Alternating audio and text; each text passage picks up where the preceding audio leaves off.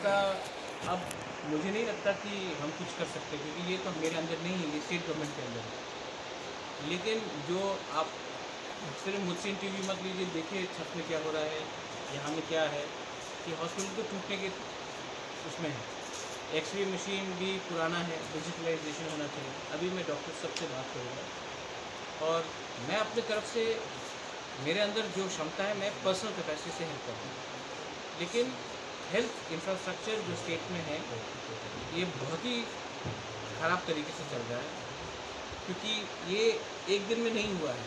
ये शायद 1960 से यहाँ में है। और ये अस्पताल एक्चुअली हॉस्पिटल बोलने का लायक भी नहीं है।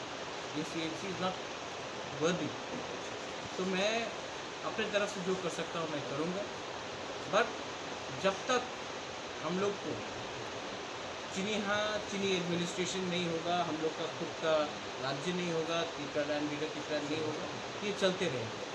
हम आज जाके धमकी देगा, कल कुछ काम होगा छः महीने बाद वही चीज़ हो जाएगा, उसके बाद फिर से हम लोग आंदोलन करेंगे, उसके बाद फिर से सब एक साल बाद वापस वही हो जाएगा।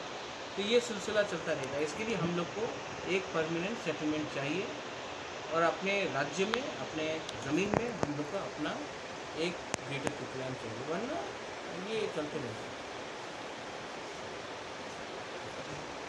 ठीक है?